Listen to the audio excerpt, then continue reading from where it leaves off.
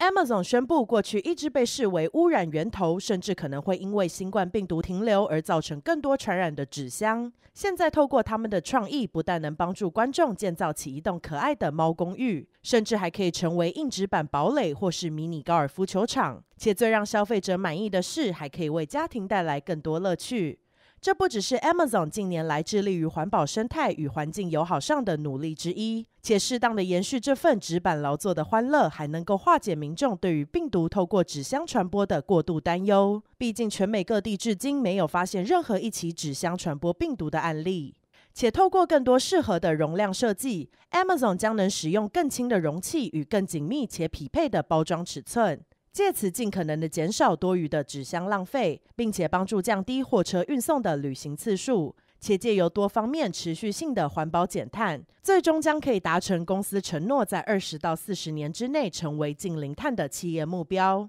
东森新闻团队在洛杉矶的综合报道。